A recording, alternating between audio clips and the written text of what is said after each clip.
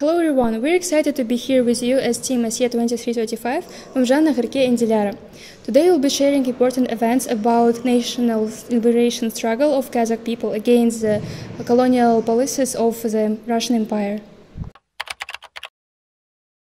Today we'll uncover the story behind the Russian Empire's colonization of Kazakh lands, the brave resistance of Kazakh people against it, and the lasting impact of this chapter on today's Kazakhstan. The reason for the colonization of Kazakh Khanate, Russians sought to dominate important trade routes uh, passing through uh, the territory of Kazakh Khanate, seeking aids against uh, the Jungar Khanate. Abulkhair Khan expressed interest uh, in allying with uh, Russian Empire. The nego negotiation uh, conducted by the uh, of Abulkhair Khan led of the subordination of the Kazakh junior hordes to Russian. Uh, the Orenburg Commission in 1744 oversaw the building of forts and uh, expansion to trade expansion of trade routes to strengthen Russian control. Abulkhair Khan's efforts to unite the Kazakh Khanates posed a threat uh, of uh, a threat to Russian interests. Abulkhair Khan's death in 1748 increased Russian dominance in the Kazakh lands.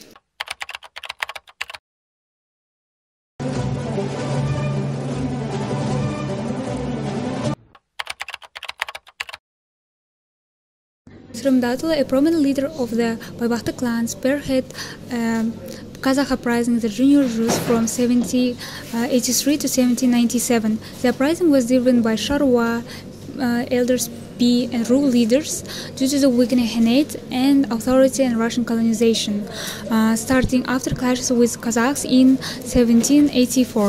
In 1785, Khan Ali was deposed for perceived betrayals and Igelstrom reform uh, to restructure governance was proposed but not fully implemented.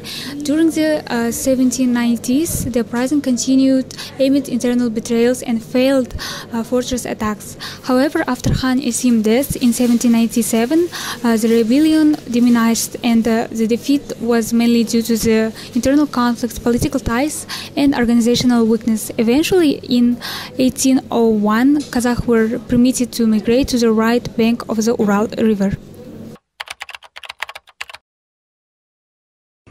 Tataymanullah Muhammad Chimusullah led uprising in the Kazakh steppes near the Volga and Ural rivers in the south near the Caspian Sea. The 1837-1838 uprising was against the rule of Khan of Bukey Horde Jangir and the Russian government's harsh policies. The uprising aimed to reduce the Khan's power, improve the lives of Kazakh villagers, and change land policies to benefit the Kazakh people. Key events included Battle of Sirikukum, the siege of the Khan's home, and defeat at Astubia November um, 1837. Uh, the uprising weakened due to government pressure and some tribal uh, leaders siding with the Han. Also, uprising was defeated. Uh, it has positive effects. The early tax increase for the Han uh, and his relatives was stopped. Uh, the Russian government listened to Kazakh village elders, and Kazakh Han's power weakened, uh, and the Russian government considered ending the Han's authority in the inner court. Sarik Qasimov, a noble from the Kazakh Middle Hordes, uh, was a key leader in the 19th uh, century rebellion against Russian uh, imperial rule. His uprising, spanning from the 1837 to 1847, rebellion aimed to protect Kazakh sovereignty and traditional way of life uh, from Russian influence through opposition to policies like taxation and conscription. Uh, revolts dis disrupted Russian control in Kazakh uh, uh, Khanates, uh, gaining support among uh, Kazakh tribes despite challenges. It highlights that Kazakh re resilience and hindered Russian expansion. Qasimov captures in 1830. 47 ended uh, the rebellion, leading to his uh, exile to Siberia. Despite not fully expelling Russian forces, the uh, uprising symbolized Kazakh resistance and is integral to Kazakh identity. 1916 national liberation struggle. In 1916, an edict by the Russian Emperor sought to mobilize up to 400,000 Kazakh men for defensive work, triggering widespread discontent. The radical intelligentsia, including figures like Jangildin and Seyfulin, organized armed resistance against this policy. In contrast, the privileged Kazakh elite supported it, while the liberal intelligentsia like Alihan Bukeikhanov sought compromise, promoted uh, alternative mobilization methods.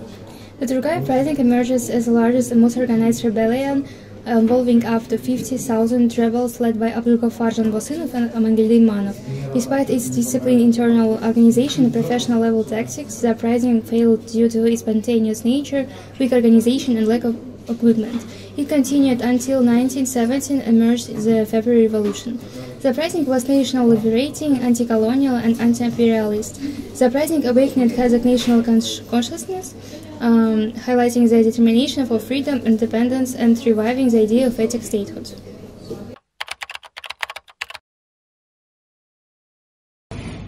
The colonization of Kazakhstan by the Russian Empire resulted in Kazakhs losing their lands to Russian settlers, disrupting traditional nomadic lifestyle. This resulted in strained Russia-Kazakh relations, mass dispossession, and the breakdown of traditional structures. The rise of Russian language led to lingualism, threatening the preservation of the Kazakh language. The uprisings fueled Kazakh national consciousness and resistance against colonization, laying the groundwork for independence movement and strengthening Kazakh identity. In our opinion, these events were pivotal in Kazakhstan's struggle for independence, leaving a lasting impact on its history. We should never forget the events that paved the way for our nation's freedom and sovereignty, reminding us of the importance of our independence.